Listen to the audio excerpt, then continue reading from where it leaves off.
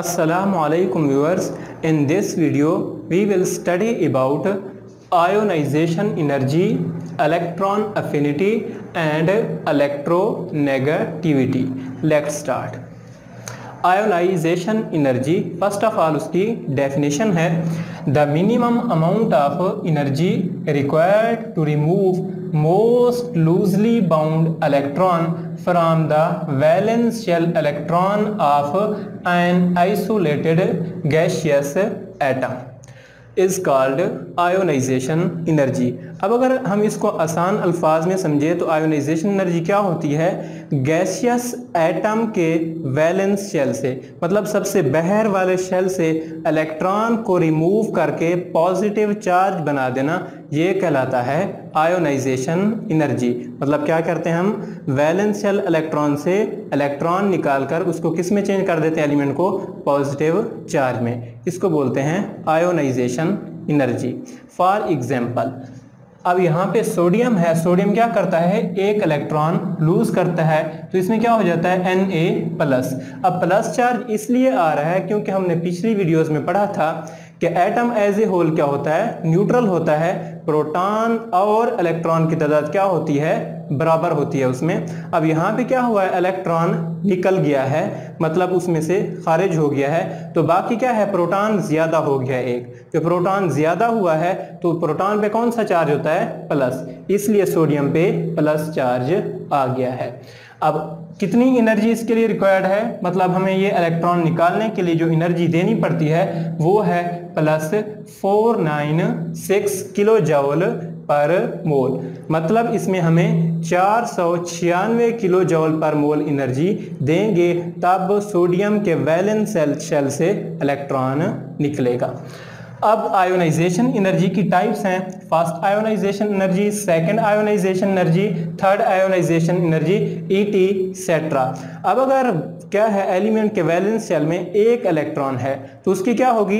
एक first ionization energy अगर दो हैं तो दूसरे इलेक्ट्रॉन को जब हम रिमूव करेंगे तो वो कौन सी बनेगी? सेकेंड आयोनाइजेशन एनर्जी अगर क्या है? तीन इलेक्ट्रॉन हैं तो वो क्या बनेगी? थर्ड आयोनाइजेशन एनर्जी अब सोडियम में एक होता है तो उसके लिए फ़र्स्ट आयोनाइजेशन एनर्जी और मैग्नीशियम में दो होते हैं तो उसके लिए क्या होती है? First and second ionization energy और एल्यूमिनियम में थ्री होते हैं, तीन इलेक्ट्रॉन होते हैं तो उसके लिए होती है first ionization energy second ionization energy third ionization energy अब इसका हम ट्रेंड देखते हैं ग्रुप्स एंड पीरियड्स में।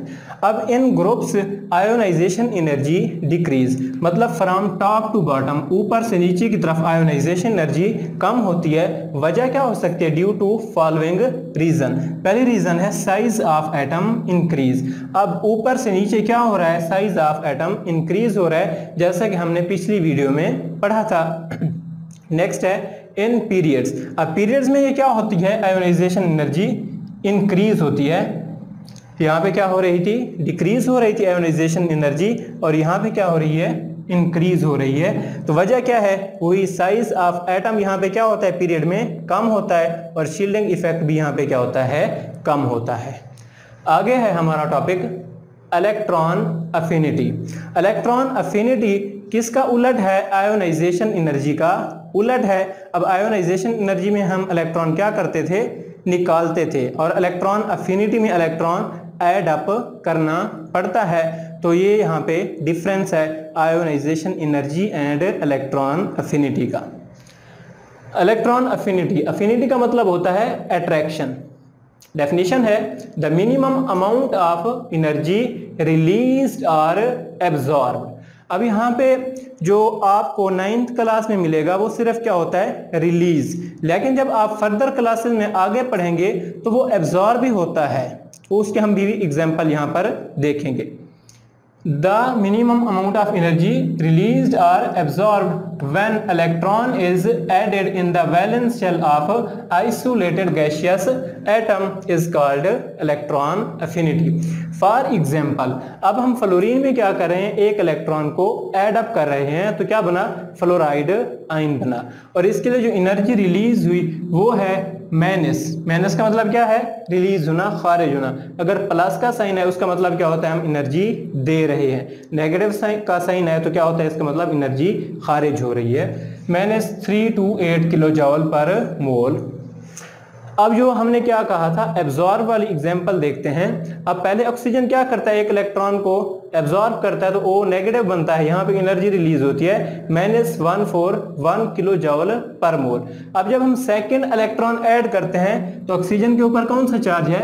नेगेटिव चार्ज और इलेक्ट्रॉन के ऊपर भी कौन सा चार्ज है? नेगेटिव चार्ज हमने पढ़ा था नेगेटिव चार्ज चार्जेस या like charges repel each other एक दूसरे को क्या करते हैं? दफ़ा करते हैं। और इसकी दफ़ा की कुत को हमने क्या करना है? ओवरकम करना है। तो उसके लिए हमें एनर्जी देनी पड़ती है। प्लस साइन शो कर रहा है कि हम यहाँ पे हम क्या करेंगे? एनर्जी देंगे।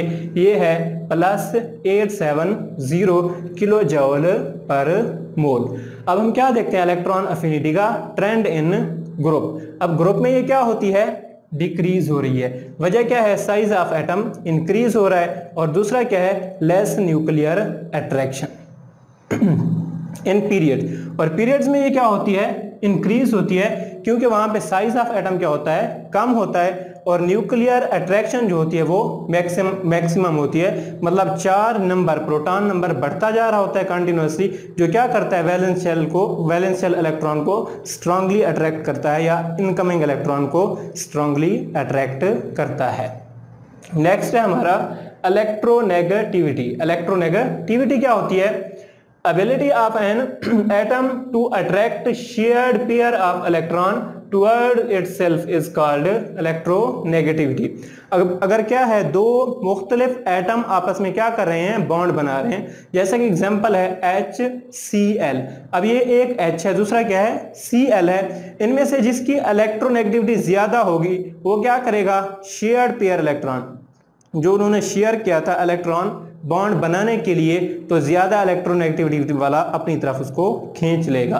For example H C L hydrogen की अगर इलेक्ट्रोनेगेटिविटी देखें तो ये क्या होती है? 2.1 है। और क्लोरीन की क्या है? 3.2 है।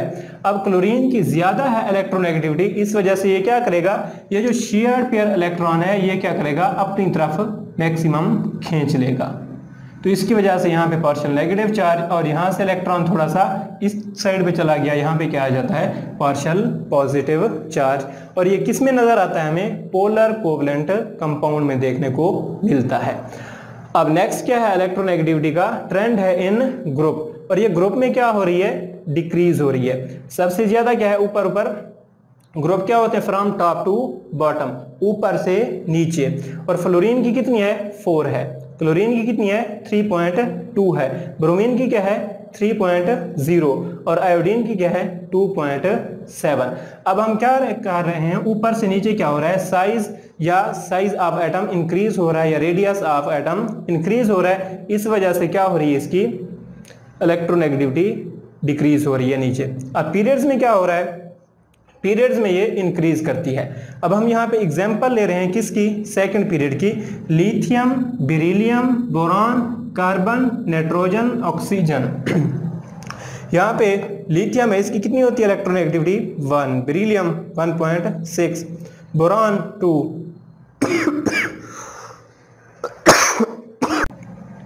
in periods अब हम किसकी एग्जांपल ले रहे हैं? सेकंड पीरियड पीरियड है हमारे पास। लिथियम जिसका अटोमिक नंबर है थ्री बेरिलियम जिसका अटोमिक नंबर है फोर और बोरॉन का atomic number five carbon six nitrogen seven oxygen eight और उसके बाद क्या है? फ्लोरीन नाइन अब यहाँ पे देखिए, लिथियम की कितनी है इलेक्ट्रोनेगेटिविटी वन बेरिलियम की वन पॉइंट सिक्स बोरॉन की टू कार्बन की टू पॉइंट सिक्स नाइट्रोजन की थ्री ऑक्सीजन की थ्री पॉइंट फोर और फ्लोरीन की कितना होती है फोर अब यहाँ पे अगर हम देखें, क्या हो रही है? कंटिन्यूसली ये पीरियड्स में इलेक्ट्रोनेगेटिविटी इंक्रीज हो रही है। इसकी वजह क्या होती है? साइज़ ऑफ़ एटम डिक्रीज हो रहा है, जिसकी वजह से वो क्या करते हैं? इनकमिंग इलेक्ट्रॉन को स्ट्रांगली अट्रैक्ट करते हैं। उम्मीद करता हूँ आपको समझ आ गया होगा।